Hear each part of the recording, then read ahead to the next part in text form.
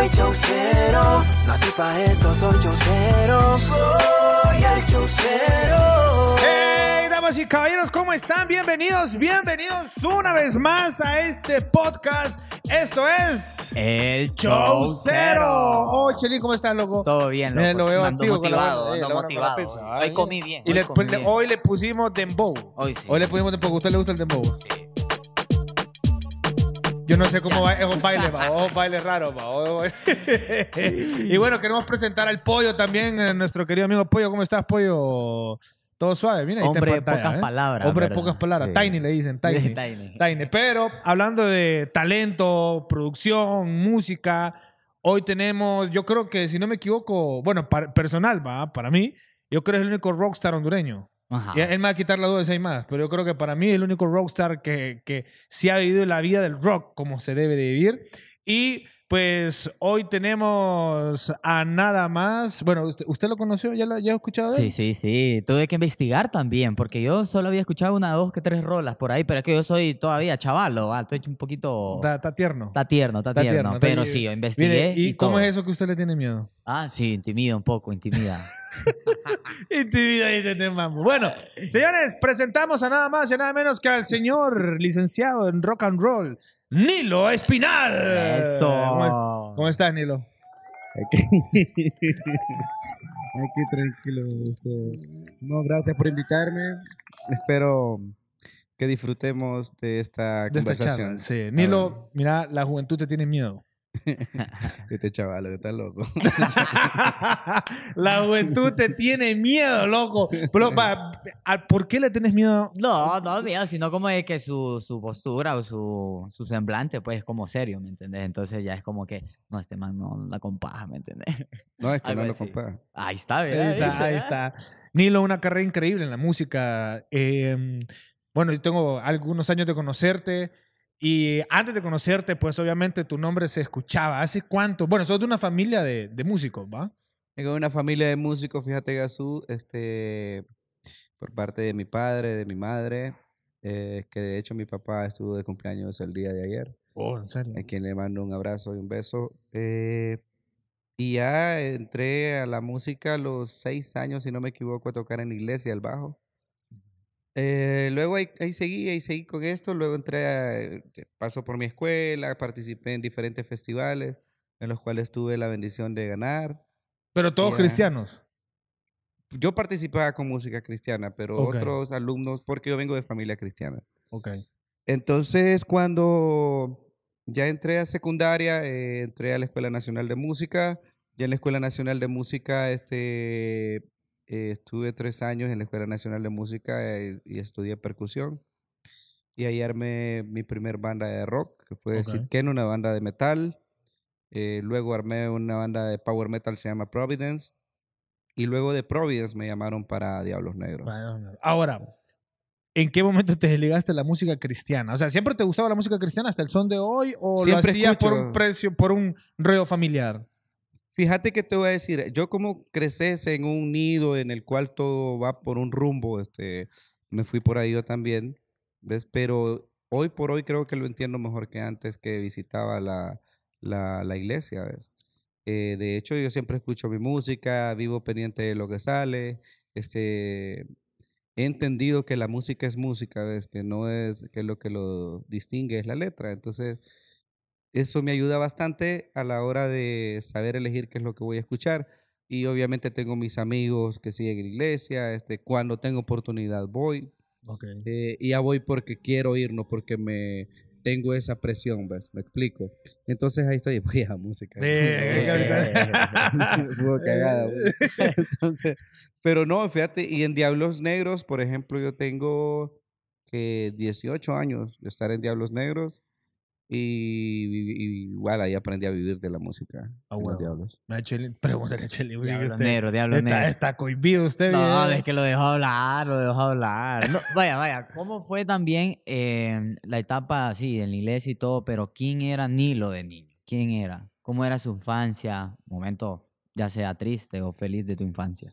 Fíjate que fue, ah, creo que para mí bien, bien normal, pero para mis primos como que bien diferentes. Mientras ellas jugaban carritos y cosas así. Yo les decía, juguemos conmigo. No, con vos no jugamos porque el, el juego mío es que ellos eran el público.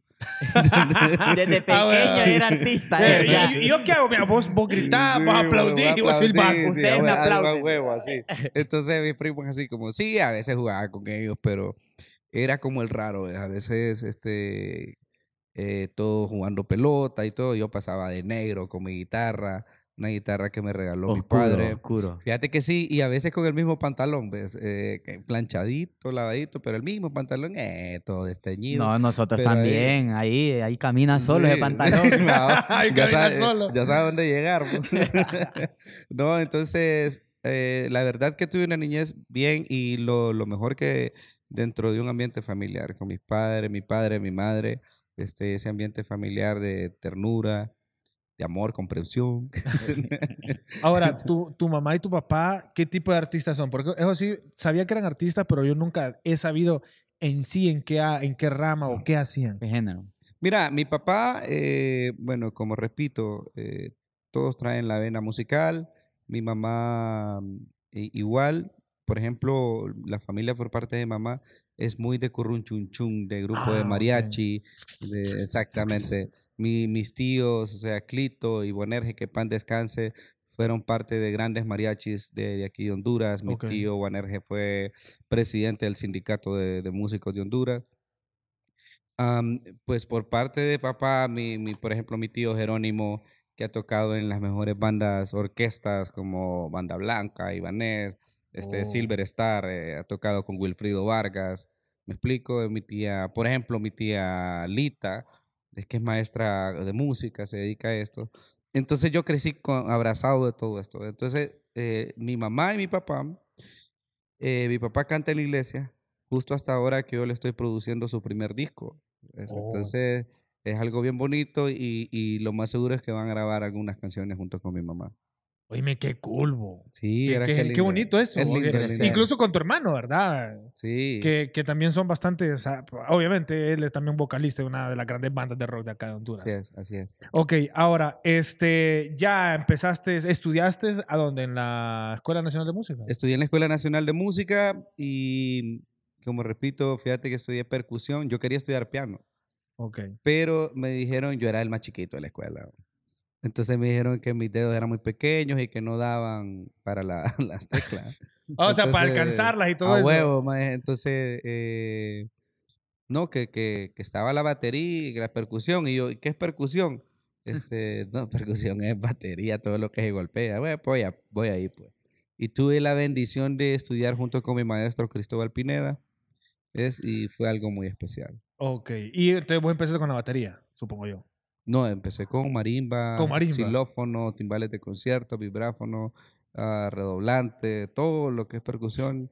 Hasta, hasta después pasé a batería, que mi, eh, mi profesor me llevaba a la banda de los Supremos Poderes a ensayar batería y ahí fue cuando este, de a poco él me fue metiendo a la banda de los Supremos Poderes, donde estuve tocando también. Nilo, hablando de poderes, Nilo, hablando de poderes, te tenemos un artefacto a la par tuya. Queremos que nos demostres un poco. Es lo que, es lo que teníamos, ¿me entendés? Es lo que teníamos, es lo que teníamos. Ahí está, ahí Ahí ese. está la Es que. Chelín te quiere ver tocar, te Queremos quiere- ver, vamos Mira, no, ver. te- tenía, yo me, me hubiese dicho a tiempo, te hubiese traído unas dos latas de seteco, pero...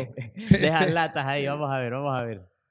¿Qué se puede mostrar? No, con percusión, ¿qué se puede hacer con eso? Vamos a ver, Nilo. ¿Vas a rapear? Ay, este ni No, puede yo ni cantar, rapear hombre. puedo, Va, hombre.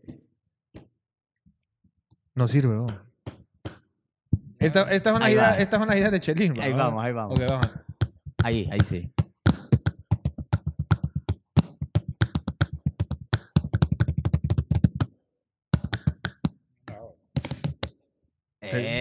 Eh, ahí va, ahí va, ahí va, ahí va. Creo que te puedes superar, Chelín, para Sí, la próxima. Sí, sí, Me po- tengo que poner más creativo a la Tenés otra. que ponerte más producción, Chelín. Más Sí, sí, producción. no lo vas a poder tener Sí. aquí en tajita. Dilo, a la próxima- No sabías si te iba a pegar un bombazo, no sabías pedo. Venía más preocupado, ¿cómo me vas a poner esto para tocar?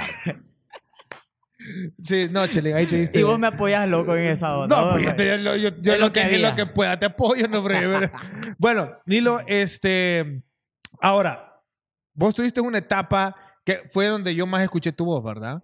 Eh, tu nombre en el tema Y uno de los temas más controversiales con vos, ahora más tranquilo porque ya como que los fanáticos ya se han normalizado más un poco con, con el tema de, los géneros musicales, pero vos estuviste, cuando hiciste una de las discográficas o sellos que hasta el son de hoy ha sido el más exitoso de la historia de Honduras en música urbana, Zion Studios.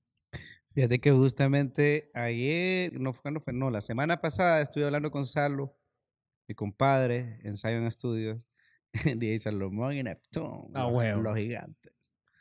Entonces, y estábamos recordando eso, todos esos momentos. De hecho, le dije yo, ¿y por qué no hacemos un concierto y traemos a todos estos, este, o a, a gran parte de ellos? Porque recuerdo que yo en ese momento, bajo Zion Studios, habían alrededor de 100 artistas. 100 artistas. Yes. Entre ellos, Perry, ACP and Fresh. JCP, Fresh Place, Buyaka Family, este, Los Bohemios, ah, Link Coast The Most, Leash, este, a ver, 8 milímetros. 8 milímetros. Eh, ¿Qué te digo? Cherry Sheila, Alexandra, DJ Isai. Handal.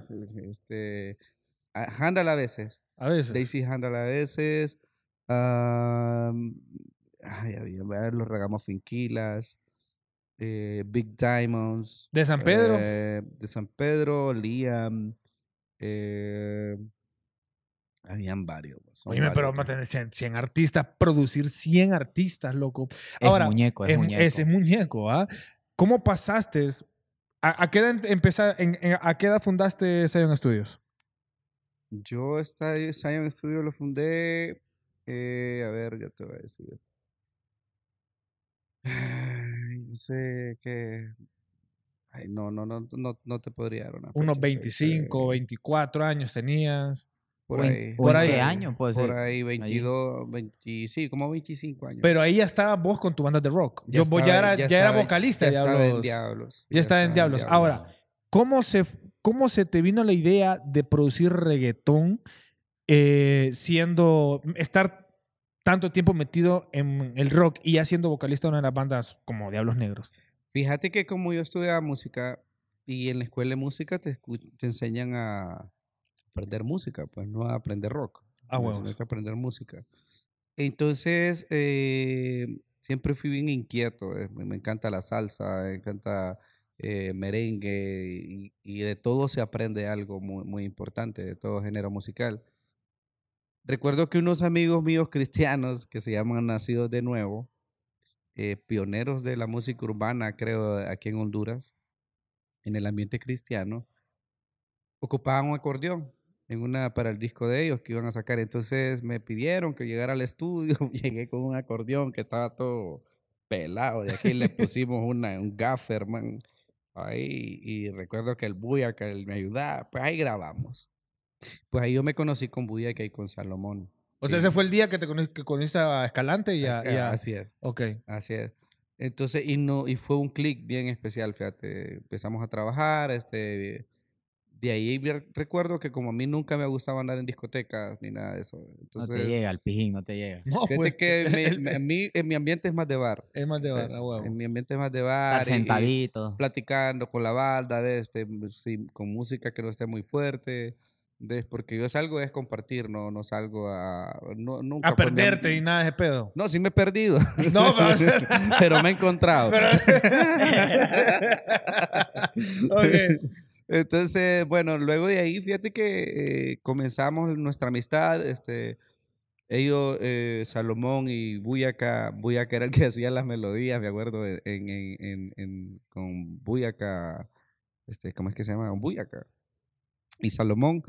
Entonces, bueno, yo, y yo, yo era una esponja, o sea, yo miraba, ellos trabajaban con eh, Audacity, este, ¿cómo es que se llama? Audacity. No, no, El no. Audacity. eh, El de- eh, el- el viejo, el programa viejo para grabar. Ah, No Pro. Tools, ¿no? No, antes, eh, no, Pro Tools todavía está vigente. Ese programa todavía está vigente, pero no me acuerdo ahorita cómo se llama. Y yo, mira, y le preguntaba a. Salomón, no, Fruity Es eh, para- sí, no, para grabarte, digo yo, que, que todo el mundo lo hemos usado. Bueno.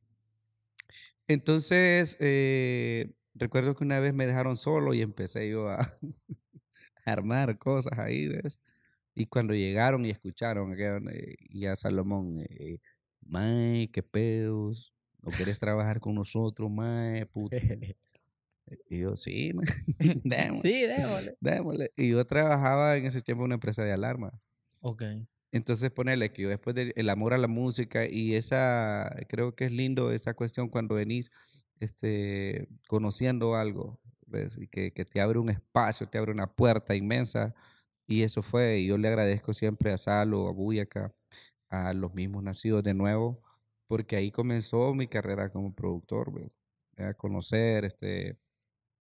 Y todo era bien bonito porque yo miraba las ideas y para mí era bien fácil como llevarlas, este... de- O de sea, ellos su- te, tiraban los flachazos y vos, vos lo colocabas en tu cabeza. a y huevo, y así, y ahí está, pum, ahí vamos. Recuerdo que una vez llegó Rubenchi, porque yo utilizaba el bajo de Fruity un que se llama Boo Bass. Ok. Y me dice Rubenchi, ¿por qué no utilizas este? ¿Por qué no pones utilizas este, mae? Ah, Yo te voy a decir algo. ¡A huevo! Saludos para Rubenche. Yo te... Saludos. Mira, ve, mira, ve, loco, ve. Te quiero, Rubenchi. Utiliza esto, mira, loco, este ploy es pijudo, loco. Entonces, bueno, ahí este me enseñó, ¿ves? Él, co- ese, para el bajo. Él estaba en C4 en ese momento. Él estaba en C4, solo que él me enseñó sin querer, o sea, yo quedé, y yo así como que, no, fíjate que nos gusta más este por el tono, pero yo, ¿cuál usas vos? Y le dije, Ah, dije yo, ah, ya, ok. Entonces ahí comenzamos y así comenzó la historia. Luego, este, yo me pasé a vivir a la, a la Centroamérica y ahí monté mi primer Spinal Records. Ok. Ahí solo era vos. Ya solo yo. ok. pues. Entonces, con lo que había aprendido allá, un amigo, mi querido amigo Julio Siman, me regaló una computadora, instalé Sonar, instalé este N-Track, perdón, este, y luego instalé Fruity y comencé a trabajar, a armar ideas, ¿ves? Y ya comencé a grabar. ¿Y, cómo, y ahí te primer- cómo te empezaste a involucrar con todos los artistas grandes de ese momento? No, o sea, ponerle que mi primer banda que grabé los Big Diamonds, que eran unos amigos del barrio, Ajá. Pero, o sea, ya a- con Salomón y Buyaca ya estaban llegando artistas que, por ejemplo, Gatillero, este, ya Salomón, que para mí es de los mejores DJs que ha tenido Honduras, este estaba en el medio, entonces todo eso ayudaba bastante. Las radios llegaban Cristian Adonis, este, Samba. A huevo. Lozano. Entonces, eh, todo eso facilitó las cosas. Cuando aprendimos a, perdón, cuando aprendimos a, a llevarnos eh, musicalmente bien con Salo, eh, Salo es muy bueno para hacer baterías, entonces yo me encargaba de lo musical y de arreglar y editar voces. Ahí comenzó que creo que ya nuestra unión como, como Salomón y Neptune. Y comenzamos a trabajar, obviamente ir conociendo en el camino, ¿ves? Este, ir conociendo el autotune, ir conociendo eh, eh, el Melodyne, y conociendo todos esos programas para eh, ayudar a los cantantes que no eran como muy fortalecidos en el área melódica. O sea, que no, por lo que no podían cantar, en pocas palabras.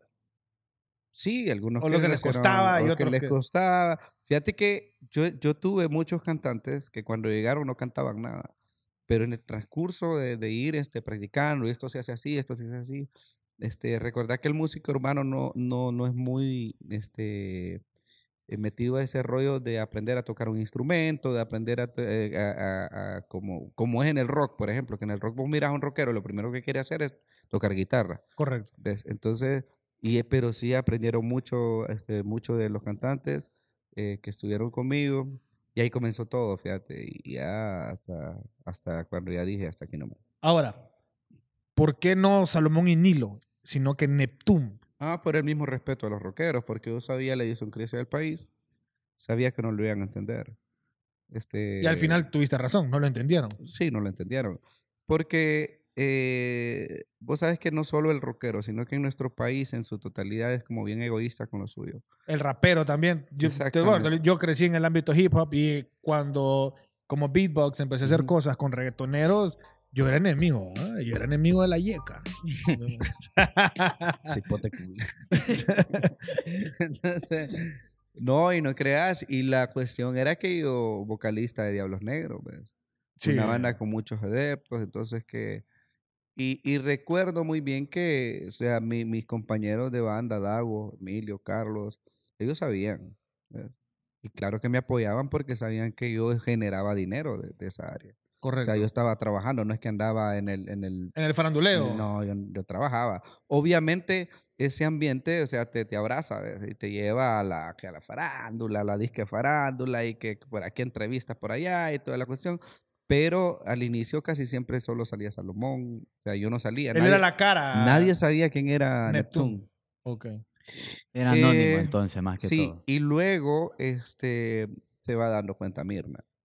Ah, ella fue la que empezó el merequendengue. Entonces Mirna hizo un documental, dice ella, este, una Dice. nota y salía los rockeros que están este, con, con- con otros géneros musicales, entonces puso a varios. Recuerdo que puso a, por ejemplo, a Monkey, ahora, Ah, ahora a Truco. Que lo tuvimos en el podcast el otro día. Sí, puso a Truco, puso a... Ay, creo que puso a varios. Y pone Nilo Espinal, Neptune. Ah, No, choteó, choteó. Choteó, choteó. O sea que tu relación con Mirna María Barahona, negativo. No, sí me iba con ella. ¿Y, qué le dijiste después de esa nota? O sea, es una nota malintencionada, supongo yo. Mira, no te podría decir si fue malintencionado o no, pero sí me afectó. Porque este, nosotros, este, nosotros en Diablo estábamos llevando ese silencio por respeto a nuestros fans. ¿Ves? Pero se dio, se dio, la gente se dio cuenta de esa manera. Me imagino que en algún momento dado la gente se iba a dar cuenta.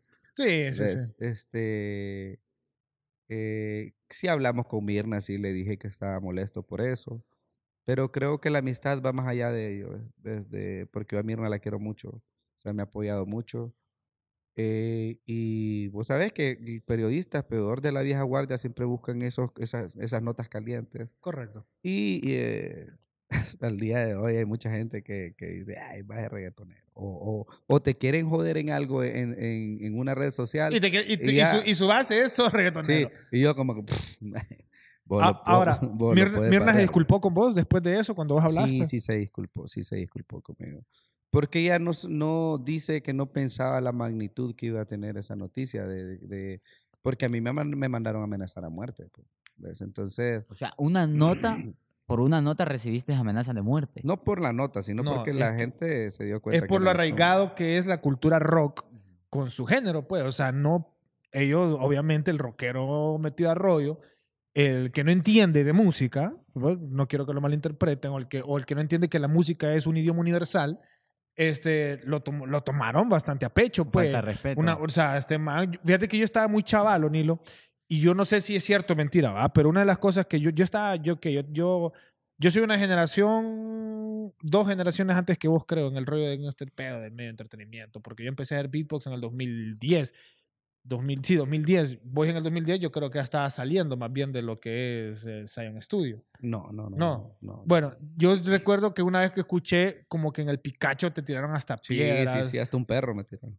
Exacto, un perro te sí, tiraron. sí, man. ¿Cómo, o sea, ¿Cómo fue ese evento en el Pikachu? Yo no, yo lo escuché, no sé si fue en una radio, pero si yo lo escuché, Nilo Espinal, vocalista, lo atacaron por, por lo acusan de reggaetonero. Era noticia de última hora. ¿Cómo ella. pasó ese suceso? ¿Cómo Nilo? pasó ese suceso, Nilo? Yo le voy a decir que Mira, mira, Arielita. Ariela, yo le voy a decir estuvo peligroso. ¿Qué, no, ya, ¿qué, pa- qué pasó ese día en el Pikachu, loco? ¿Qué Mira, evento era para empezar? ese- era un evento que vino una banda covers. Qué lástima. ¿no? Vino una banda covers al Pikachu, una banda que hacía música Guns N' Roses. Ah, ok.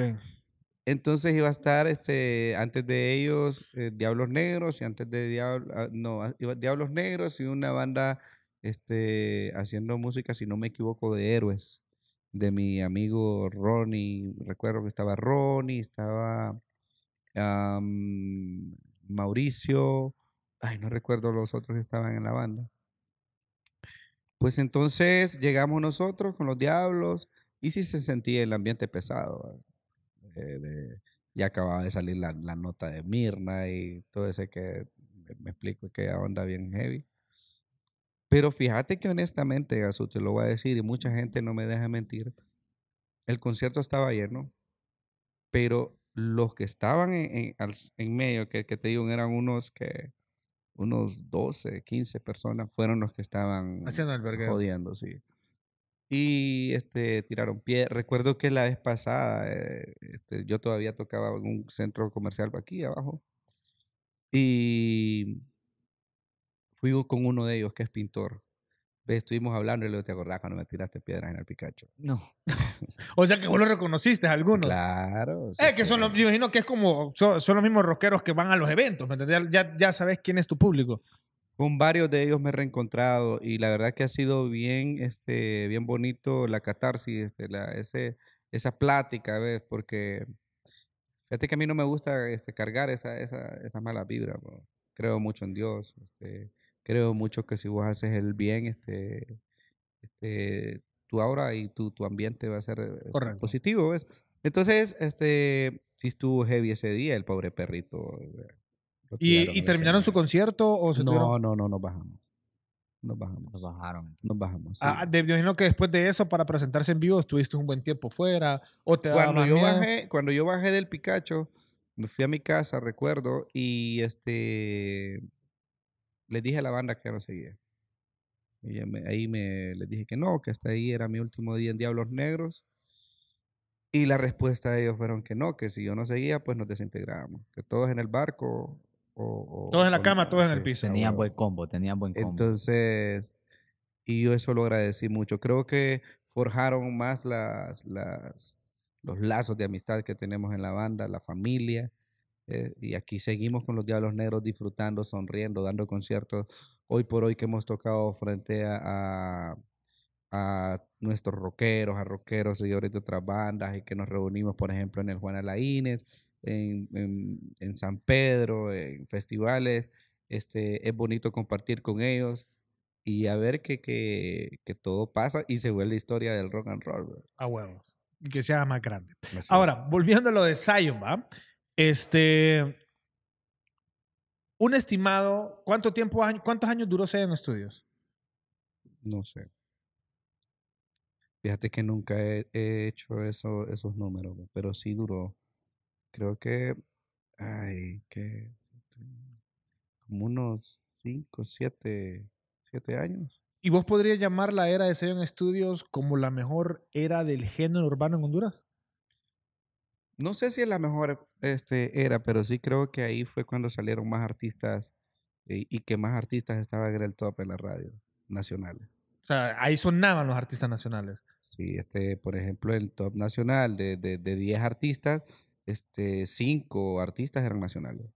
Y, Compitiendo con, con Daddy Yankee, compitiendo con El Father, compitiendo con todo eso. óyeme, y en esos años, en los, en años dorados de esos artistas también.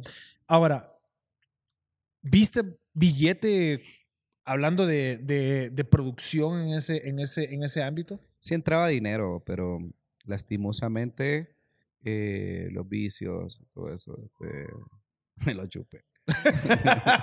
Oye, humildemente, ¿verdad? Eh, humildemente. Oh, humildemente. Compré un tele.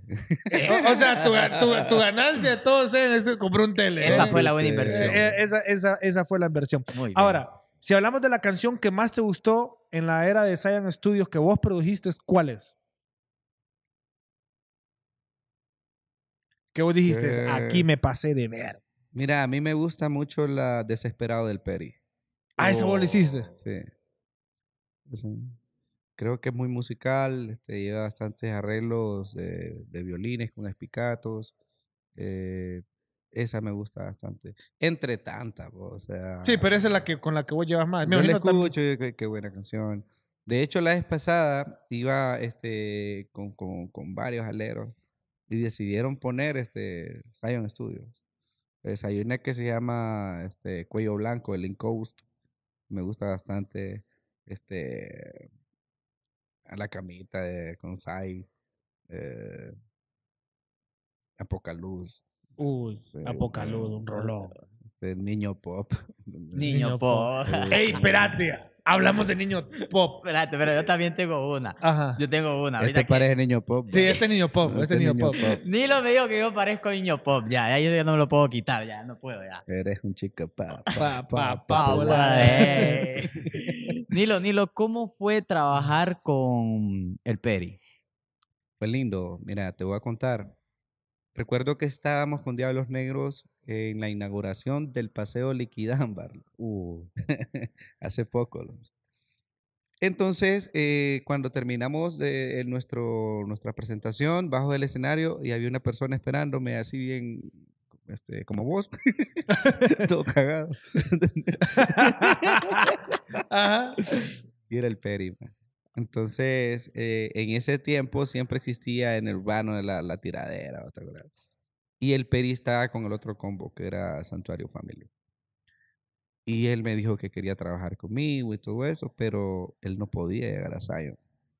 Porque el combo de Zion había iba- conflicto, Había lo había iba- conflicto. Lo iba a estar talar.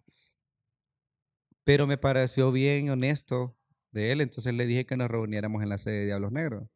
Nos reunimos ahí, comenzamos a trabajar. Yo le pedí permiso a mis, compañeros de trabajar en el, en el estudio con Peri de, de- de- de Diablos, en Revolución Records. Pero este, yo dije, esta es tontera, si Zion es mío. O sea, yo decido quién entra y quién sale. Ahí Ah, está, bueno. el poder, el poder. Entonces yo les dije, mañana va a venir el Peri. ¿Cómo cabrón? Y el que no le guste se va. Hijo de. Ve. Entonces, obviamente había hablado con Salomón, que Salomón es mi, mi, mi, mi compadre, Zion. Y llegamos con Perry, y mira que el ambiente así. loco. Tenso. ¿Quién está en el, es- en el estudio ese día? Yo recuerdo que estaba Fresh, JCP, estaba... eh, de esos dos me acuerdo cabalito, que si no me equivoco estaban los Big Times también. eh, y no recuerdo quiénes más. Pero entró el Perry, Perry empezó a saludarlos a todos.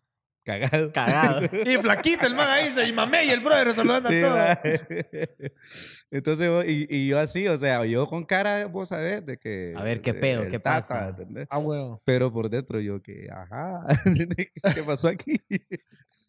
Al día siguiente, este, yo estoy en el estudio y entre el peri, yo solo, Nilo, Nilo, y yo que quedé sin camisa. va. Ya soy calle, ya soy calle. No.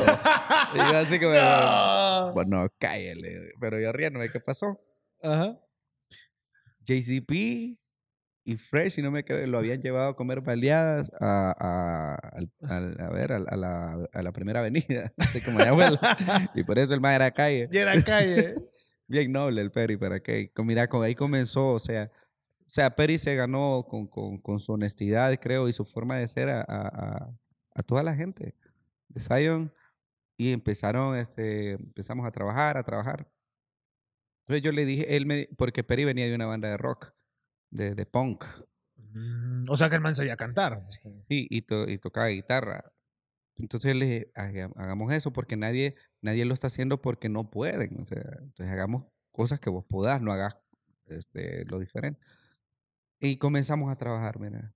Y obviamente Peri hace esto. Es bonito con un artista, ¿ves? Eh, a veces hay artistas que con una rola, ¡pum!, pegaron. Pero ya después de esa rola, pss, Apagado. What Wonder. y con Peri se fue construyendo todo desde abajo. Su primera canción, este, recuerdo que fue para, bueno, de hecho ya que estamos tomando Pepsi, fue para una batalla de las bandas Pepsi. Es, este, se hizo con, con un amigo que tenemos en la Ceiba, juntos, y, pero solo Peri salió en el video, pero es más basura. Entonces, eh, y de ahí comenzó este, su carrera hasta donde llegó y, y creo que Peri iba con un rumbo que tenía Tenía pu- pinta Potencial. A, un esta- buen a ser, potencial. a un ser buen futuro. internacional. Así es, así es. Porque él bien enfocado, cabrón, en todo eso. Y es pocos artistas que se enfocan. Y se miraba también bien versátil a la hora de hacer O- sus otro, temas. otro artista que yo considero que fue, y bueno, que pudo haber hecho más, pero lastimosamente la vida se lo llevó, eh, y los vicios también, eh, para mí, este, Da Play. Sí, claro, claro. claro. Para mí, Da Play era un talento raro, man. O sea, que man era, era raro. es que ¿no? Play era raro. Play era raro, ¿me entiendes? Y uno de los mejores dúos, bueno, Fresh, que le gusta andar en dúos, yo creo que uno de los mejores dúos que él tuvo, incluso, mejor que incluso que DCP. Le gusta andar en duda. Sí, pues. le- llega andar en pareja. ¿Qué onda ahí, Fresh? ha sido Da Play y Fresh, ¿me entendés? Creo que hizo más que con, Se con va JCP, muy ¿me bien, ellos se muy bien. Con todo respeto, ah, todos son mis aleros, todos los conozco, pero hablando del... Yo creo que cada quien ha tenido su, su espacio ¿eh? y cada quien eh, ha logrado lo que su esfuerzo le permite o Correcto. lo que su entorno le permite. en ese tiempo, por ejemplo, cuando salió eh, eh, a la poca luz, venía un proyecto grande. O sea, había un desenfoque de todo, porque a todos nos cayó como esa cuestión de, de- del reconocimiento, a veces perder el piso, eh, este, no utilizar bien los medios que tenés enfrente.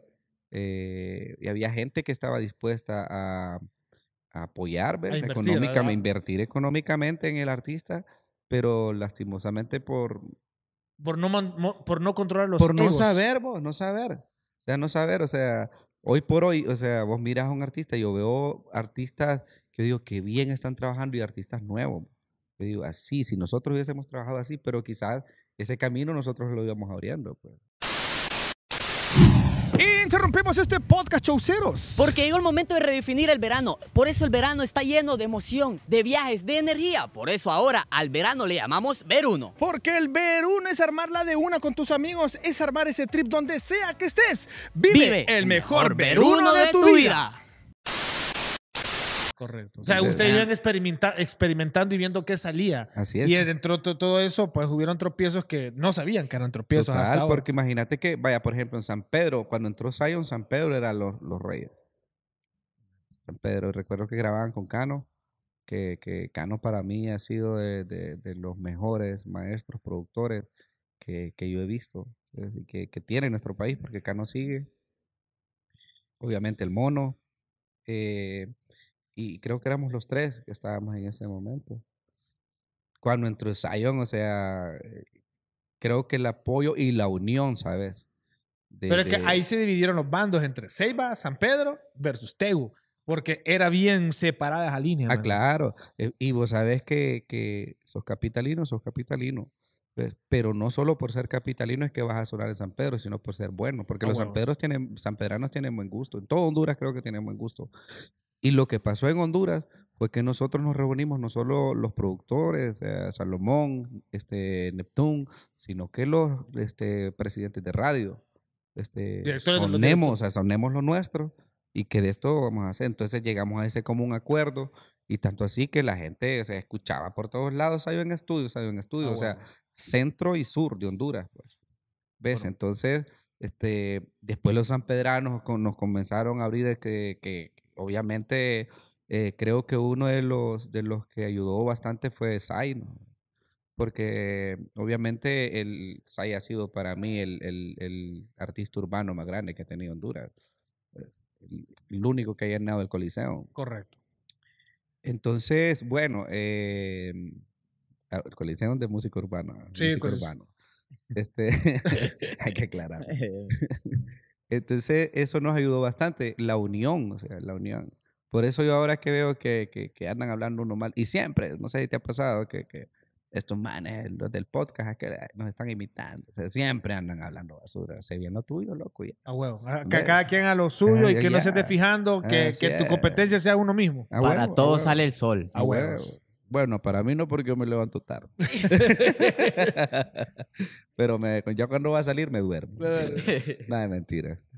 Loco, bueno, tantas anécdotas, va. No quiero centrar esta entrevista solo en Zion Studio, sino que una de las cuestiones que mucha gente sí recuerda, ¿me entendés? Y yo creo que pocas veces he hablado de esta manera de, de, de todo ese. Todo Creo que es primera vez que estoy hablando así de Zion. De Zion Studios. O que Sí. imagínate. Entonces, yo que soy una persona que vivió de manera fan de, de- la música, o sea, yo, a quien me llegaba más era eh, eh, eh, Play. Man era loco. Después me tocó, ya conocía Beatbox, ya lo conocí en persona y el man no era completo, pues, pe- pero el man como artista, otro rollo. Después me fui involucrando y fui conociendo, pero me hubiese gustado estar en la era de Zion. Ahora sí, siempre escuchaba el tema de que era una argolla y ahora lo aclaraba, que es que todos se reunieron y, y unieron fuerzas para posicionarse, ¿me entiendes? Que eso no, no, no creo que lo haya vuelto a pasar Actualmente. actualmente, ¿me entendés? Mira, el problema no es la argolla, el problema es estar fuera de la argolla. ¿Ves? En todos lados. Sí, sí, sí, eh, eso, eso sí Y- es cierto. ¿Y es saben por cierto. qué lo digo? Este, la persona que está fuera de la argolla va a hacer lo que vos decís, criticar. Criticar, correcto. El que, es- pero el inteligente que está fuera de la argolla va a presentar un buen producto ¿ves?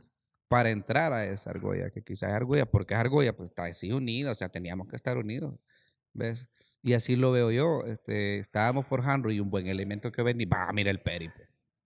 Era, el, Peri el no Peri estaba, era pues. de, de- de los De- contrarios y entró. contrario, Y entró. ¿Ves? Pero es muy difícil quedarte fuera y solo viendo y criticando a decir, es que yo quiero estar ahí.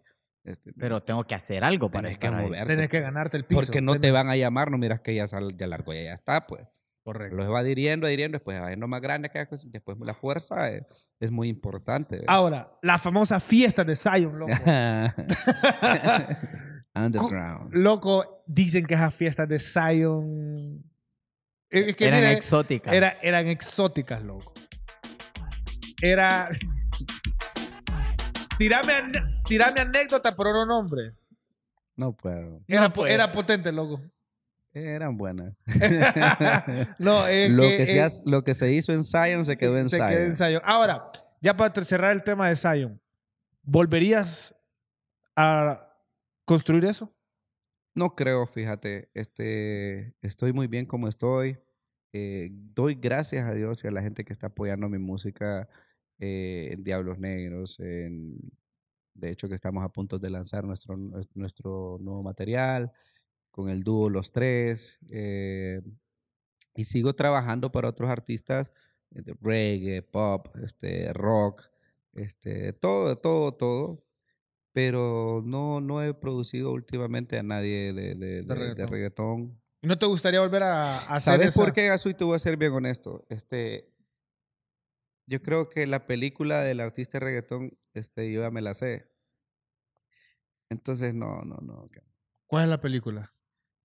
Que ellas son rockstars, que son artistas. Y- No estás para lidiar con egos de... No, loco. ¿Vos crees que ese es el, es el talón de Aquiles de los reggaetoneros? Su, su, su película, o sea, la movie que, que- que, se, que, que- que se agarran de videos musicales de otros artistas Sí. y que la vienen a tener acá. Creo que en gran parte. bro. Es que cuando vos te desengañas, este, ya empezás a crecer. Eh, puedes andar una, una gorra de marca, pero no sabes si esa marca es original. Entonces, la cuestión es cuando te, vos trabajas en tu talento primero y salís y vos decís, man, ese man vale la pena, o sea, Ah, huevo. va para arriba, o sea, y que, que bien canta, o sea, te preocupaste por vos, no por tu imagen, este, no, o por el qué dirán, o, o que yo soy, ¿ves? Y vos decís, no, man, te hace falta todavía. Y, y- y ese ambiente, yo ya lo viví, y es como recordar a veces cosas, porque Zion tuvo cosas positivas, pero también tuvo cosas negativas eh, en todos los aspectos, entonces, no, yo no estoy para esto. No, chiqui, no, no, No. no. no. Qué bueno. Bueno, Ujú. este, debo decir que eh, interesante todo esto que, que, que, que viviste en, en esa etapa de, de Zion. Eh, y para los que alguna vez tuvieron alguna duda de cómo era por dentro, cómo era el Vive, pues aquí tuvimos un poco de esto. Ahora hablemos de Diablos Negros, que sigue siendo tu casa y seguirá siendo tu Mi casa. familia. ¿Cómo fue el día, loco, que te llamaron para ser vocalista de esa banda? O sea, ¿Cómo te encontraron? ¿Cómo fue ese proceso eh, que te convirtió en el vocalista de Diablos Negros? Mira, yo estaba en, en Providence y, y curiosamente en varios conciertos yo veo que, me empie- que empiezan a llegar los, este, Dago, Carlos Mendoza a los conciertos de Providence. En un concierto de la U, me acuerdo que estábamos tocando ahí, me llamaron este, después del concierto, hey, ¿vos qué tal? Y me daba Alex Palencia, eh, quien le mando un saludo. eh, y me preguntan si quería ser parte de la ópera de, de Morazán. Y yo, dale, me falla. Pero todo fue ahí, la amistad, ¿ves? Y, y Providence, ¿qué tal? Eh, Ya escuchamos, acabamos de grabar un tema nosotros. Se llama Salida de Providence.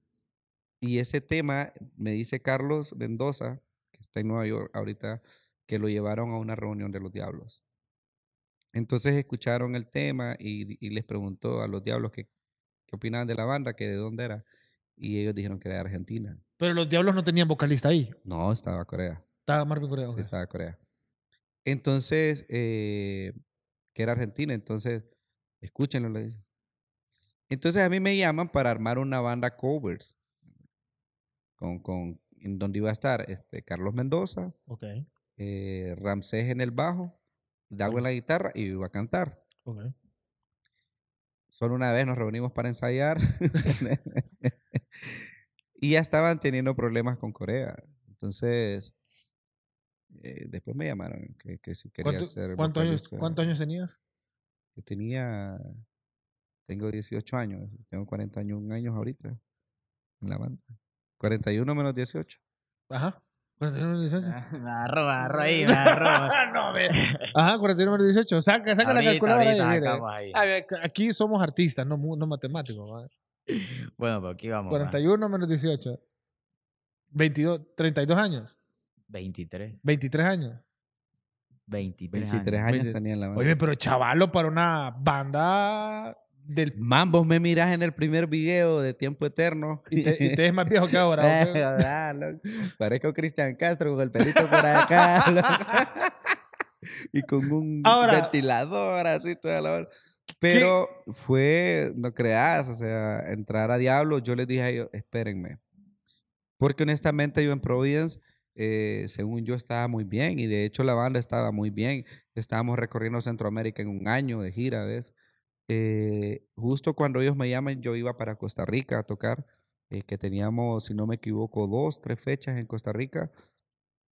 Pues entonces yo les dije, espérenme, porque no sé, pues no, no, no sé qué Y, y Providence era tuya. Sí, Providence mía, mía. Y te dio...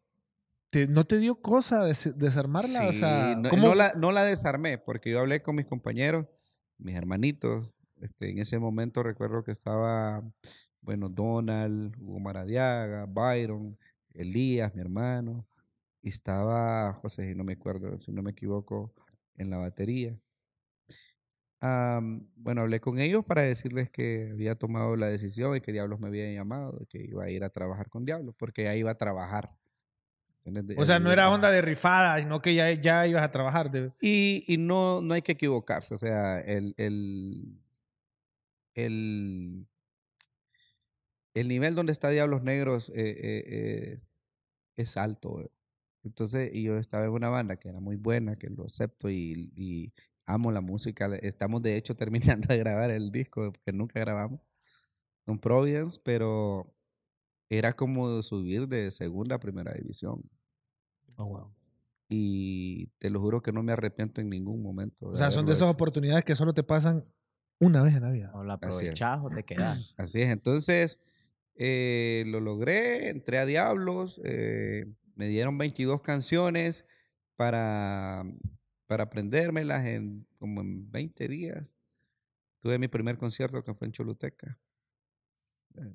Y los nervios, loco. Lo que- empieza este, el calor. El o sea, los nervios, digo yo, porque a los 22, 23 años decís, no sé, va, me pongo en tus, me pongo, me pongo en tus botas y, me, y, y lo que me pasaría a mí es como, ok, Marvin es Marvin, para quieras o Total, no, ¿me total. Marvin es Marvin, pues, y No es quiere o no, Marvin es Marvin. Marvin es Marvin Corea, pues, Sí. está todo el vergueo que y no solo Marvin, Richard que venía antes de Marvin, o sea, monstruos de vocalistas. A huevos. Entonces, venir y sentir que te dan esa responsabilidad, ¿me entendés? Porque no es premio, ¿me entendés? Es, una re- es muñeco, es responsabilidad, brother. ¿Cómo fue ese, ese primer show que, que te, te- cómo ese, ese backstage? ¿Cómo fue? ¿Vos has visto esos perritos de taxi, loco? Ajá. Así temblaba yo, loco. Así temblaba yo, loco. Man, pero tuve el apoyo de la banda, eh, de los técnicos. Me acuerdo, hermano, un saludo a Mario Madison, Charpiec de Watson, soltero. También le mando un saludo al Chirriquiz, Alejandro. a Sergio Aguirre, que, que- que me acuerdo que estaba eh, haciendo sonido en ese tiempo. Eh, y obviamente a los compañeros de banda. Y mira, este, recuerdo que estábamos en el hotel, y yo estoy en el hotel, estábamos todos sentados y llegan unos fans. ¿Ves? Y, y, y empiezan a saludar a todo el mundo y no me saludan a mí. Y vos cohibido. Y vos cohibi- ajá, Ajá, cohibi- y yo cagado, más cagado. Entonces, bueno, yo- yo, seguro que no me dieron. ¿no? O, o, o- o bueno, pues, uno que cuando vamos al toque, se salió el concierto bien, recuerdo. Gracias a Dios. Y ellos habían dicho que si yo este, no cantaba bien, que me iban a bajar a tomatazo. Le dijeron a Emilio, pero Emilio me contó después. Es Sí, buena, yo es te- buena Es buena esa. Buena eh. Si yo te contaba antes, me te morías ahí. hombre. Sí, hombre. yo estaba- Pero, o sea, honestamente, este, sí fue una experiencia bonita y hasta el día de hoy sigue siendo una experiencia bonita. Ahorita que estamos trabajando en un nuevo, material, este, estar creando. Ayer iba hablando con Dago, porque Dago está escribiendo letras ahorita. Perdón, últimamente yo me estaba encargando bastante de la música y compartir eso con la gente, con la banda, eh, es algo genial. Diablos Negros. Nilo, eh, me imagino que antes de entrar a Diablos Negros seguías también así su, su eras parte de la fanaticada o sus canciones también te las disfrutabas. ¿Cómo se sintió eso de ser fan a ser parte? Mira, voy a ser bien honesto, yo no era fan de Diablo, No era. no. Pero siempre me pareció, a mi, a mi gusto, la mejor banda de Honduras.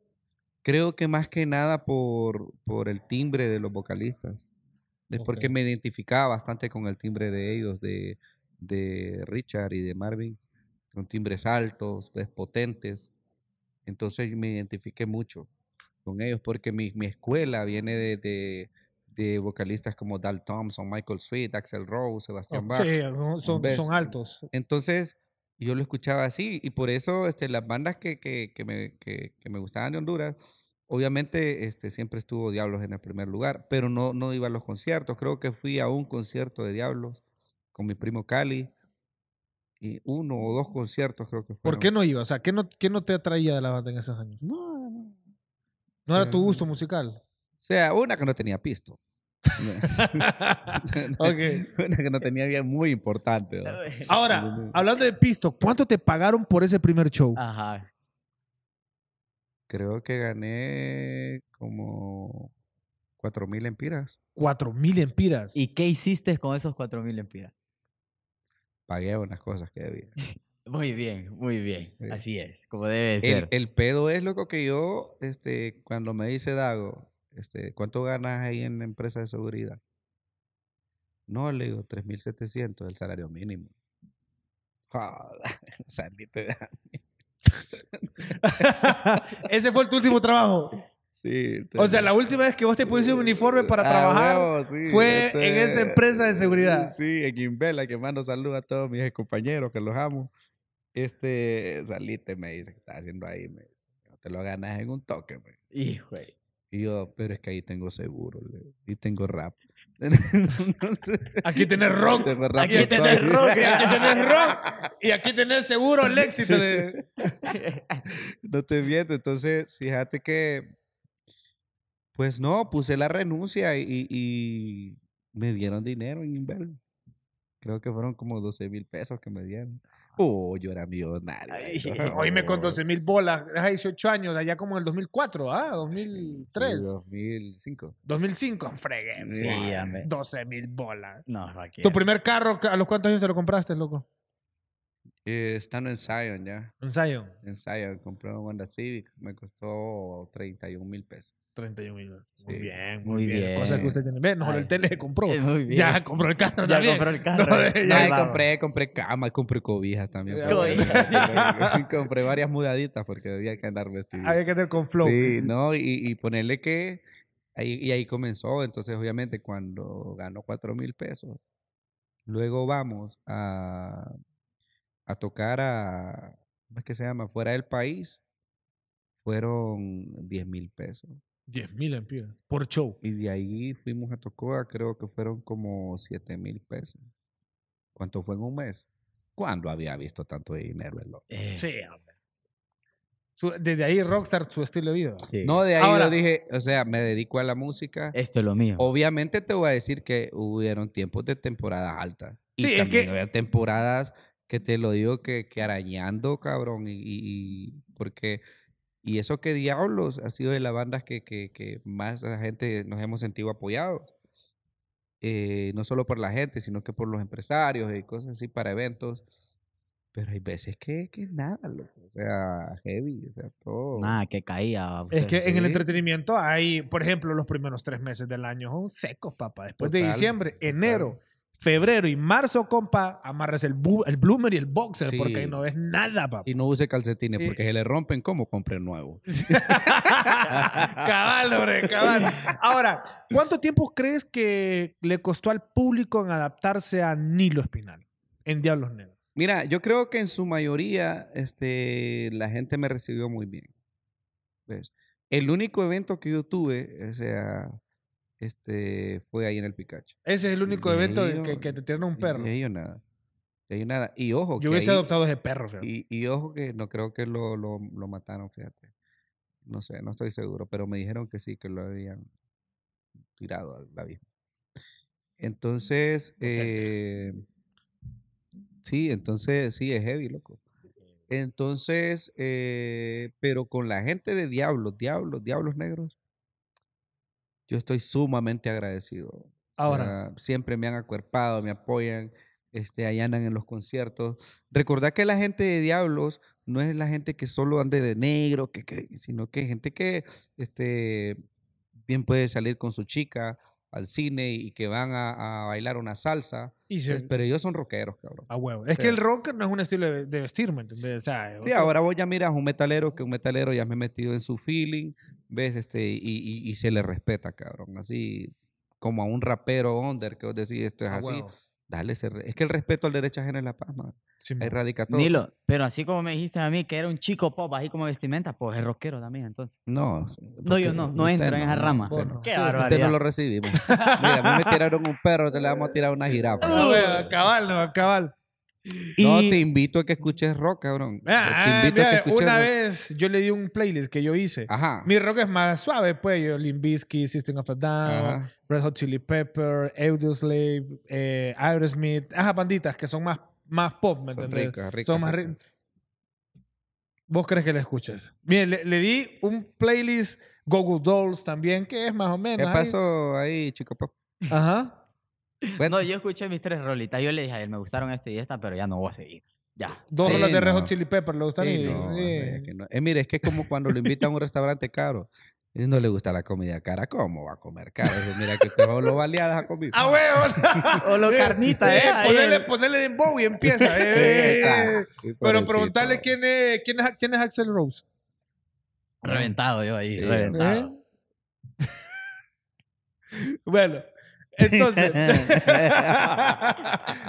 Ahora, otro de los temas más delicados que lo voy a tomar, te lo voy a tocar con mucho respeto, es el tema de la rivalidad que los fans y que en algunas veces se ha tomado o se ha visto por parte del otro vocalista contra entre ustedes.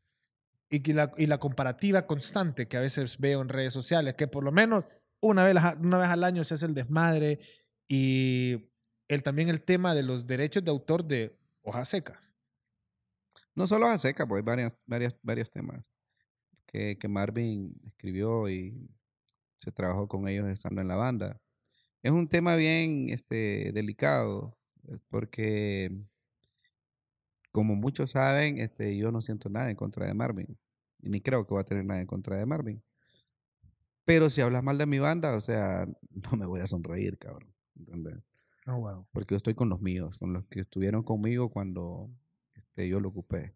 Y ese es mi banda. Diablos Negros es mi banda. ¿Ves?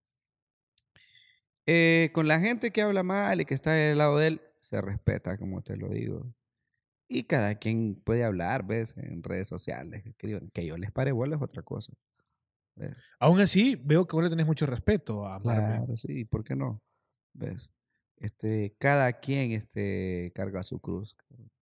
Y a mí no me gusta andar cargando este, sacos de, de negatividad que no me corresponden. Que al final, si supongo yo, ¿va? o es lo que más o menos disierno, al final el problema es con, no es con vos directamente, sino el problema es con la banda. El es con la problema es con banda. la banda. El problema es con- y si es la banda, estoy yo también. Ok. ¿Ves? Pero este, nosotros sabemos dónde estamos parados. ¿ves?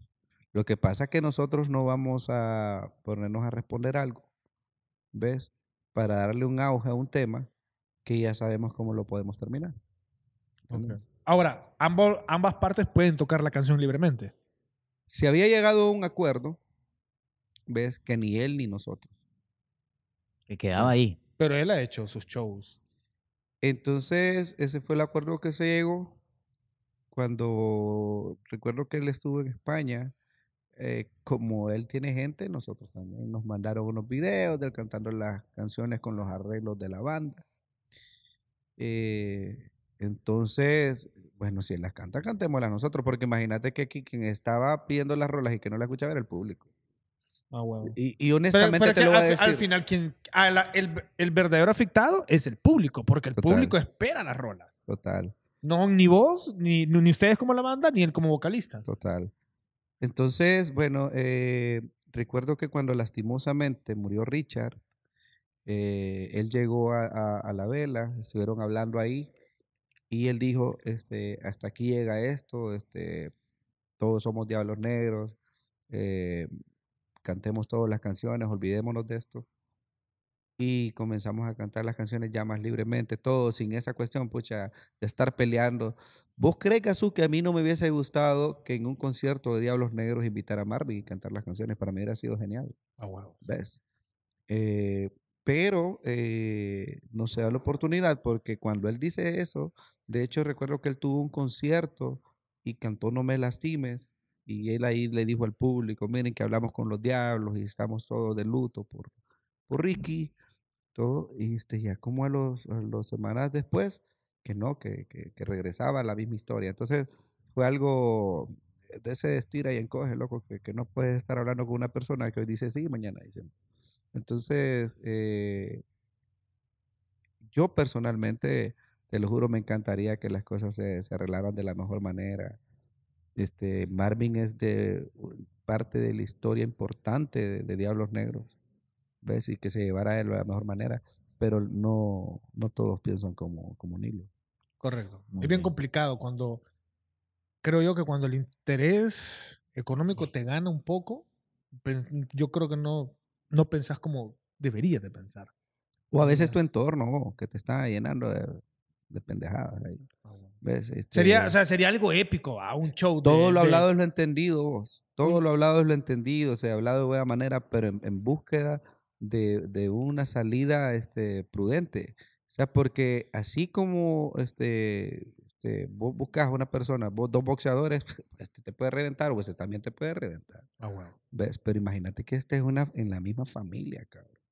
¿Ves? De Diablos Negros. Eh, yo lo hablo así, sería lindo algún día, este, como me quedé con las ganas de, de cantar con Richard, ¿ves? Que sí, nos encontramos en la sede, estuvimos hablando fusivamente, nos cagamos de la risa. Este, genial con todos, ¿ves? Así me encantaría que algún día estarnos riendo con, con Corea, ¿ves? Pero lastimosamente creo que no va a pasar. Ah, huevo. Y no por parte de ustedes, supongo yo. Por lo menos de mi parte, no. O sea, yo, como te repito, yo no tengo nada en contra de él. O sea, nada. En conclusión, la paz sea por todas partes. a todas huevo. partes. A huevos. Ahora, ¿tenés, ¿tenés algo? Sí, eh, Nilo, pregunta para los fanáticos o también todas las personas que siguen el rock eh, hondureño. Para Nilo, eh, ser, ser artista aquí en Honduras es muy difícil. Fíjate que como uno está forjado a trabajar en medio de lo difícil, eh, creo que él ha entendido cómo es el trámite. Eh, lo difícil es a veces pregar, por ejemplo, te voy a hablar del otro lado. Cuando estás tocando y llevas, este, llevas donde un cliente y llega otro mismo músico cobrando este, la tercera parte de lo que vos cobras para lograr tocar ahí. O sea, esa competencia desleal es lo difícil. El negocio. Pasan todos los, todas las índoles, amigo. Vos sabes, Sí. entonces, esa deslealtad, ese músico que quizás no vive de la música, sino que este, Lo hace Ah, por sí, hobby, por no, por, hobby. por joder, por guaro. Ah, ah, por aficionado. por por guaro. guaro. Bueno, pasa en el tiempo. Bueno, yo solo he tenido una competencia, complicado también, ¿me entendés? Con Tukes. que me cae muy bien, Tuke, ¿sabes? Sí, y una de las cosas, así como vos con Marvin, a mí me hubiese gustado compartir escenario con él, pero la vida nos puso a darnos verga y es lo que... No es que vos es que tonto, vos, toca. ¿Ah? vos tonto. Por ayudarte, loco. Con todo respeto. Con ¿va? todo respeto, entonces, La vida nos puso. Viste, chico papá, ahí me lleva, güey. tú. La, la vida, la vida nos puso a darnos verga y nunca se dio. O lo uno- háblense, hombre, háblense una- ahí, vaya. Los voy a poner a los dos en una rola mía, vaya. chique, vaya. Y Es aquí una- está, es vaya. que es- Ahí está. ¿Sabes qué? Yo soy vos en las mismas circunstancias. Yo quiero paz. Yo hablo con Tiox y me va a ir lo mismo, vas a ver. No, ¿de quién es él, Taller? Y él dijo, Ya la madre. ver, y el hermano y mamá, ¿no? Ya vas a verlo. Entonces, a veces pasa ese tipo de cosas. Nunca a nivel de... esa onda de la, de la deslealtad en, en económico lo, me ha tocado ya más como presentador, como host, o como le llaman ahora, influencer y todo ese pedo, que no sé dónde sacaron el nombre, pero este... Eso sí lo he visto y es complicado y te arrecha. Porque hay Mara que lo hace solo por joder. Pero ¿sabes cuándo, te- cuándo pasa también lo, lo, lo, lo bonito? Eso y te lo voy a decir. Cuando vos tenés la seguridad de que tenés la gente que te apoya, ¿me entendés? A huevo. Chico Pop. Ya me clavaron así. Desde hoy, chico, pop, yo ya.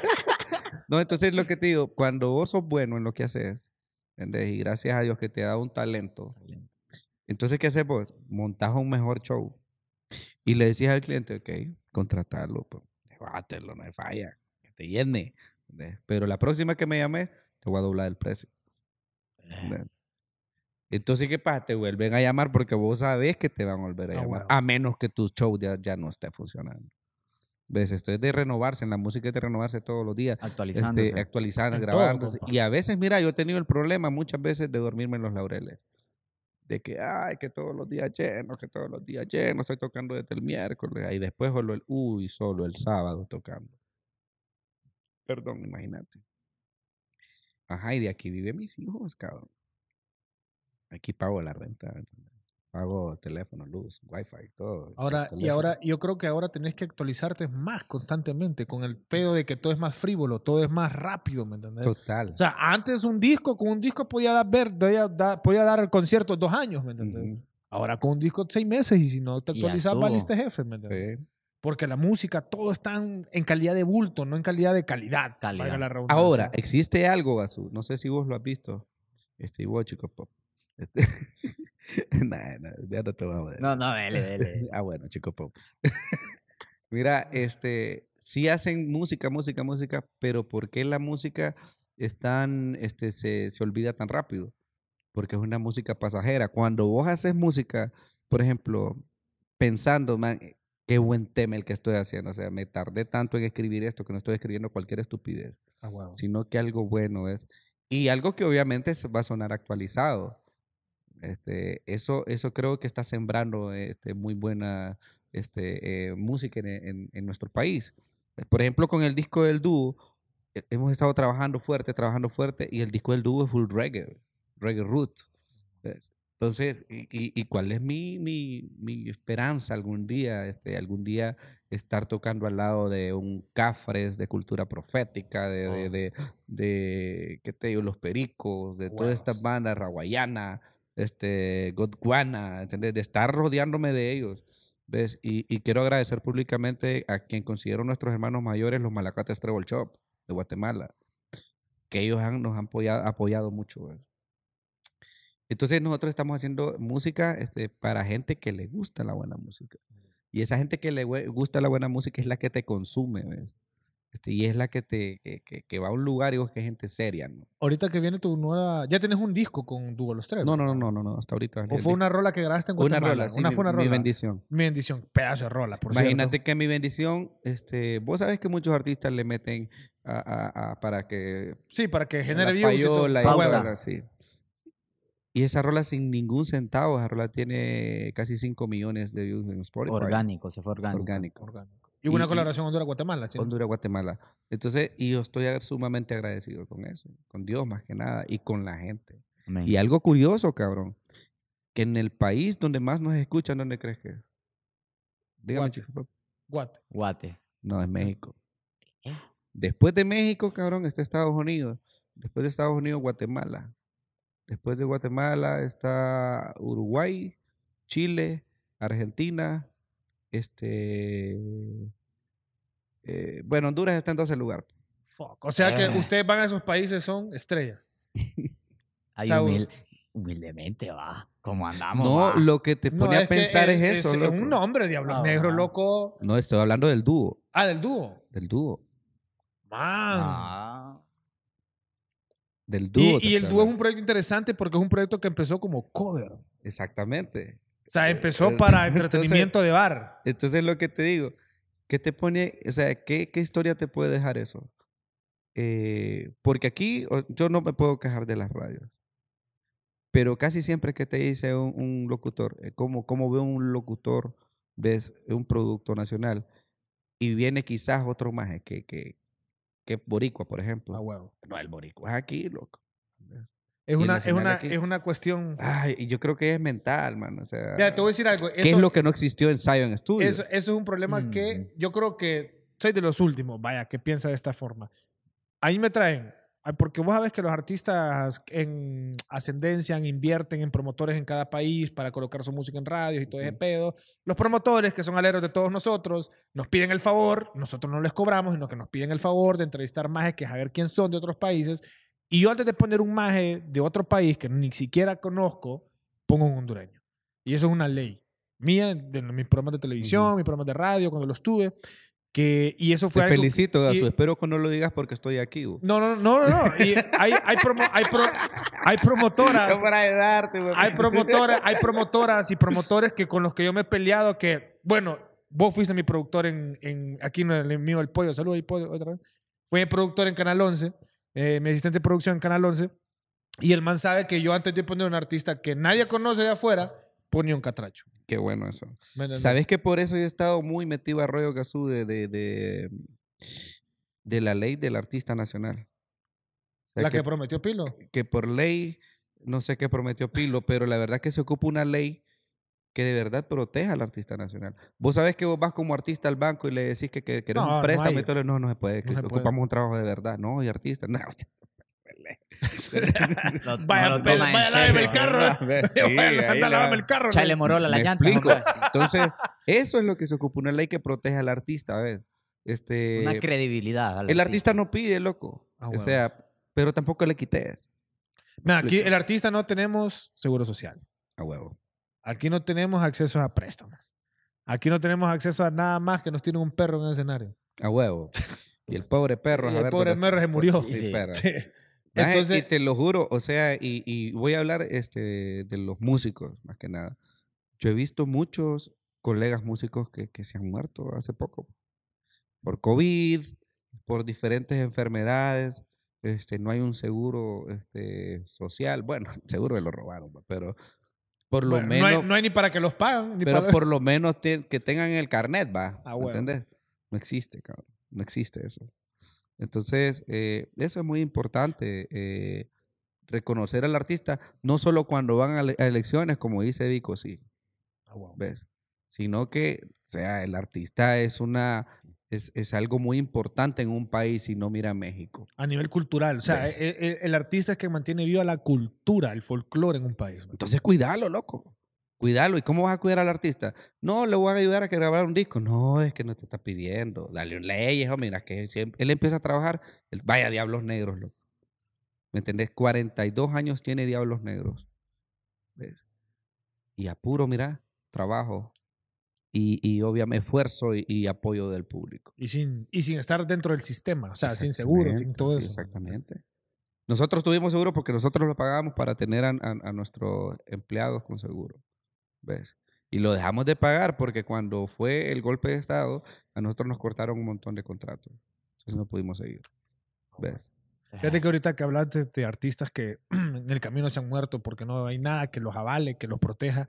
Yo me acuerdo de un artista que yo sé que vos sabes el nombre. Él tocó, yo fui el bajista de Elvis Band cuando estaba Herbert De él Ríos. estoy hablando, sí, el guitarrista. El del este, guitarrista. Sí, sí, sí, sí. Man, este, yo, ese- yo, yo a él yo lo conocí cuando yo era el bajista de Elvis Band. él tocaba con- en el patio. Ajá, con Herbert Ríos, el bate- de la batería. Yo, yo, que- yo era el que bajaba los parlantes.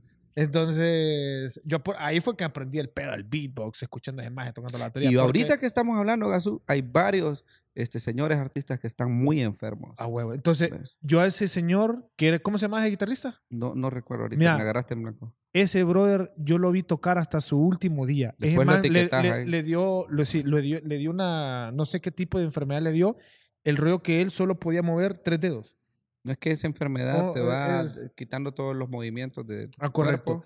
Y solo tres dedos, man. Solo tres dedos. Con esos tres dedos tocaban en, en el patio, terminó tocando en el patio de acá arriba. A huevo. Y yo, bro, después de verlo todo que tocaba y todo pedo, ¿me entendés? Pues Con, con Elvis, man. Después, a verlo así y que ahí estaba su esposa, creo, su hija, que lo acompañaba. Que, y, él, y, y no es que el patio le pagaba, o no se va, pero uno le daba su billetillo a él porque él tocaba covers de rolas. No las cantaba, solo las tocaba con los dedos que le quedaban en movimiento. tres demás- dedos. Tres dedos o cuatro dedos que le to- Y de ahí más nada, bro. Tocó hasta su último día y, y nadie, ninguna. eh, Ningún ente. ningún ente público respalda a ese tipo de personas que le entregaron su vida a la música y al arte y a entretener a muchas personas, incluso a los mismos del gobierno. ¿me Es, es pesar, ¿me? De eso es lo que hablo. A huevos. Entonces es difícil, entonces por eso te digo, se ocupan leyes.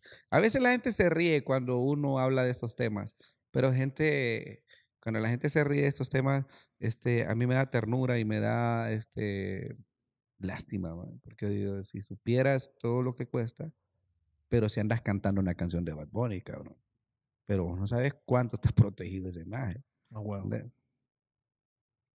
y un, y un maje que no que, que para mí este sus letras este no se les puede comparar con una de, de grandes artistas nacionales ¿ves?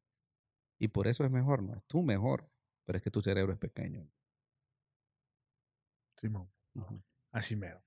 Bueno, Nilo, la verdad, qué buena entrevista. Potente. Potente, ¿me entendés? Este. le Tú- pusimos nuevo nombre a Chico a- Pop. Chico Chico Pop. Pop. Hablando de Chico Pop. Me bautizaron, ¿verdad? ¿Verdad o mentira? ¿Chico Pop era una tiradera o se la comió de gratis Play? sí era una tirada Era tiradera. era tiradera Para Play. sí era para play Potente. Ok, porque dicen que Play estaba en el. O sea, algunas versiones que he escuchado dicen que Play estaba en el, escena- en, el estudio. Sí, eh, no recuerdo. Fíjate que te voy a contar, cuando salió Chico Pop, yo me había peleado con Salo. Entonces, este, Salo solo había hecho un pequeño beat de batería. Este, hello, pero que... Sí, esa. Llego yo. Entonces me dijo Salomón que había dejado listo para hacer este lo, lo, lo musical. Ajá. Pero el hip hop, vos sabés que el hip hop no lleva mucho. Sí, entonces- sí. eh, tu, tu, tu, Cuatro tiempos y cheque.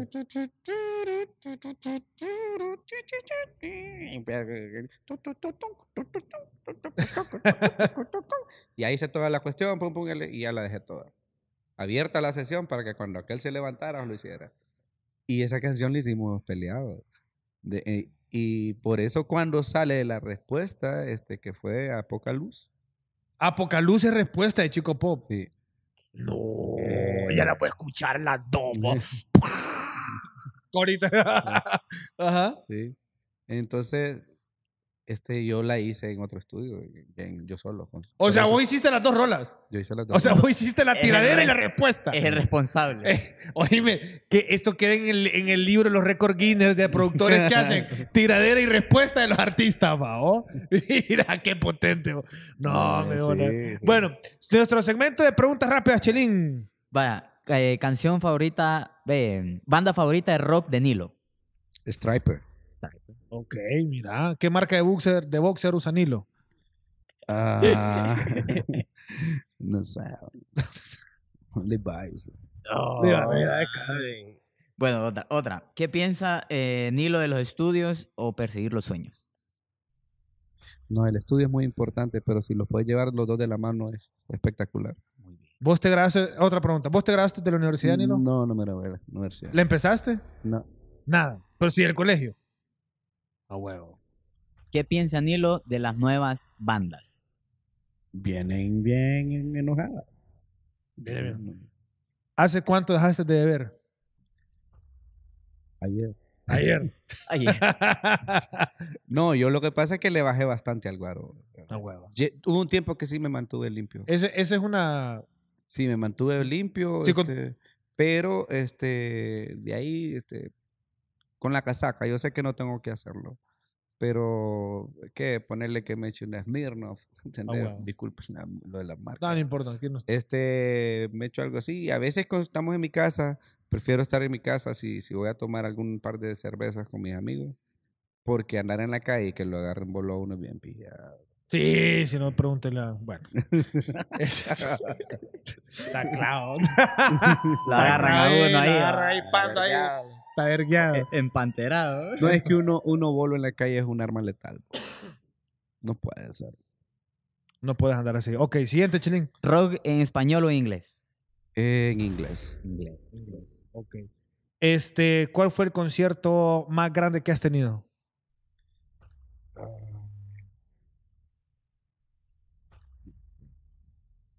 Mira, ¿te puedo mencionar tres? Dale.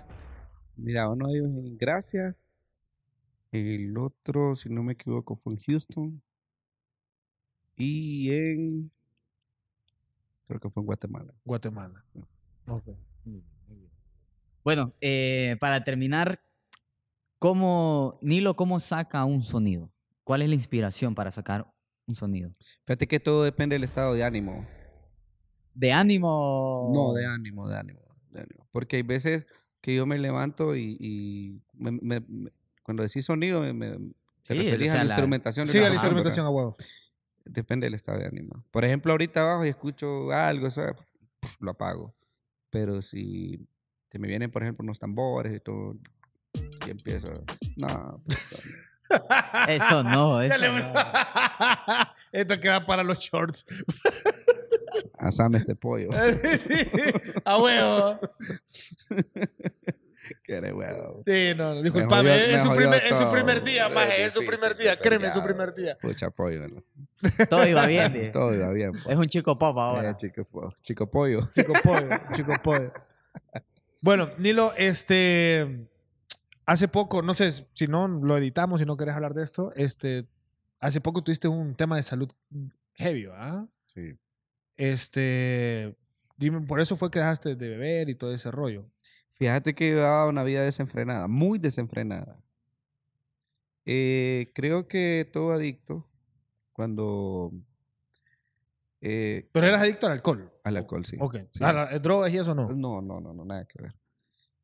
Pero, o sea, también el todo lo que te pendeja es droga. El pedo es que cuando yo subí al escenario y a mi voz, yo sentía que se estaba este, deteriorando. Y mi excusa era calentar mi voz con el tequila, calentar mi voz con el trago. Es decir, obviamente, pero ya cuando terminaba el concierto yo estaba cantando las canciones en arameo, ¿no? ¿Entendés? Yo vi el loco. El pedo es que Y vos así, es por la voz. Sí, es por la voz. y a veces, te, te lo juro que a veces funcionaba, fíjate. Pero no es lo prudente.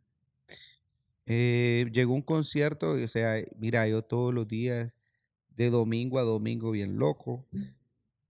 Perdón, este, incumpliendo con clientes. Perdí muchos clientes del estudio por ello. Eh, estuvo bien, bien pesado. ¿Cuánto tiempo estuviste así? No? Uf, no recuerdo. Pero este, lo que la gota que derramó el vaso fue en un concierto con Diablos Negros. Mira, yo amo Diablos Negros.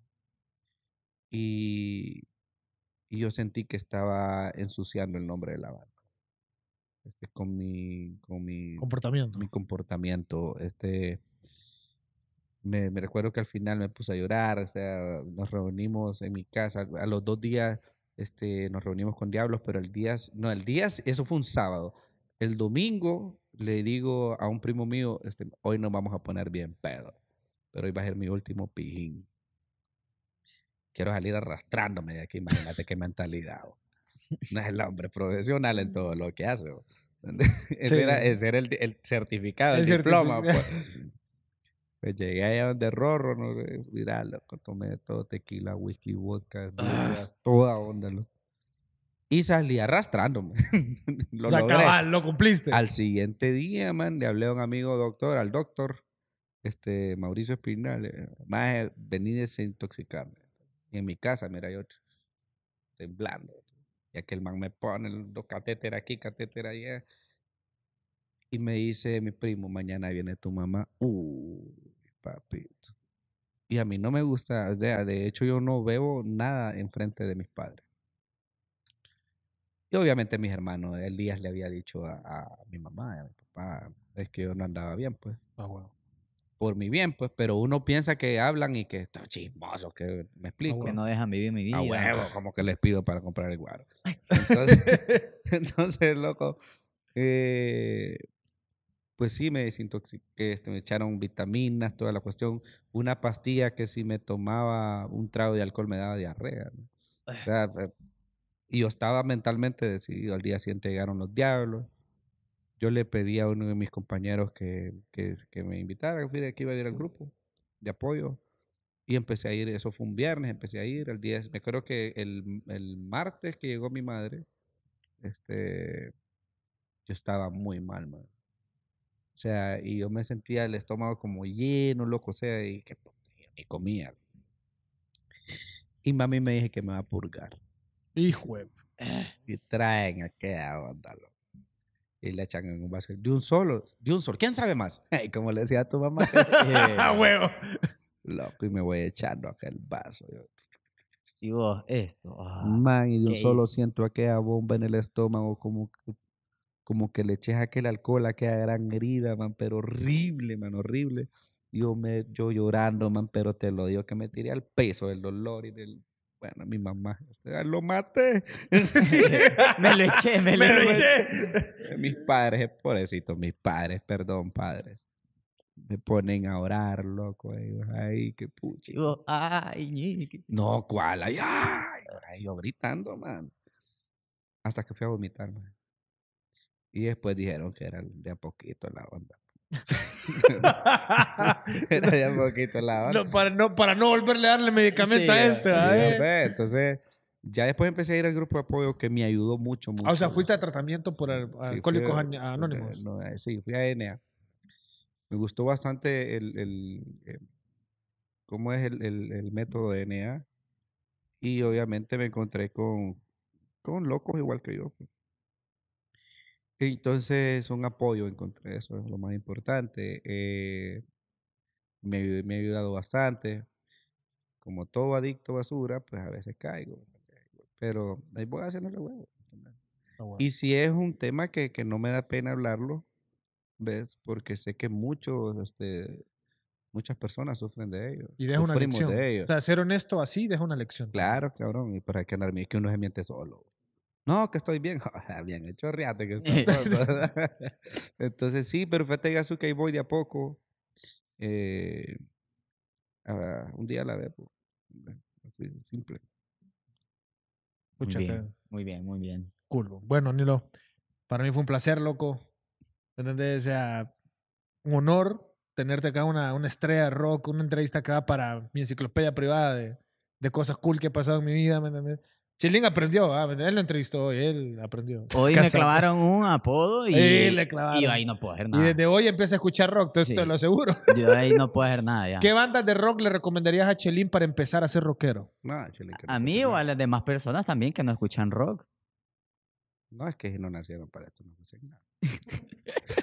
ni para atrás ni para adelante. Este, pa- Para más yo. No, yo fíjate que hay una, hay una banda, cabrón, que creo que te puede... ¿Qué, qué música te gusta a vos? Hijo. Honestamente. Dale, Es dale. que si le respondo, como. No, dale, respondele, dale. man, respondele. Dale, dale. ¿Qué música le gusta a Chelín?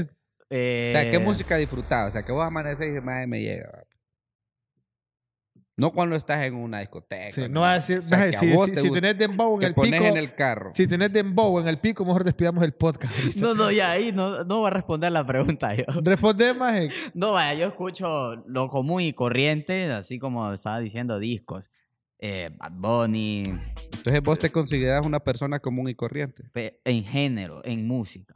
Ya como persona, no. Vos pensás que una persona que, que común y corriente va a escuchar lo que es. pues.